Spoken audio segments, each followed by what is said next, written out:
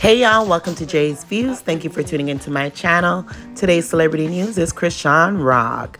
Today, Chrisean Rock and Chrisean Jr. were at the hospital to get Chrisean Jr.'s hernia procedure done. Hooray, we wish him a speedy recovery. But what I noticed was Chrisean's sunglasses. I was like, why does she look like Ali G? Y'all remember Ali G, and if y'all don't, and if y'all don't remember, he used to do a lot of comedy skits.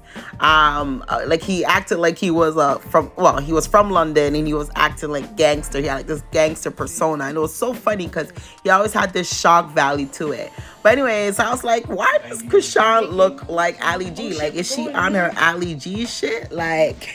like what's going on? Oh, so i was even trying to find out like where like what brand this glasses is. Like it's not versace it's not gucci and it's not chanel. So i don't know if you know Chrisean um got the glasses from the same brand where you know ali g got his glasses from because honestly all I, when i was watching her live this morning all i could see like all i see is ali g ali g ali g so y'all you let me know this like no shade, no shot, no shade to Chrisean because she's a beautiful woman, but just looking at the video and the photos of her wearing those sunglasses, what what are your thoughts? Am I wrong or am I just delusional? Y'all let me know.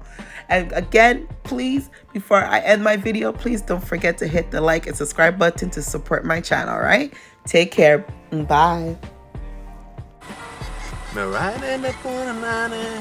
The feeling the.